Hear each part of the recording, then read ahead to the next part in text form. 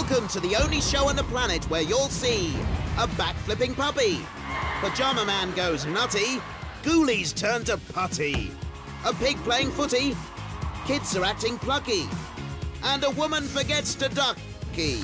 Planet's Got Talent, Saturday at 7.30 on ITV.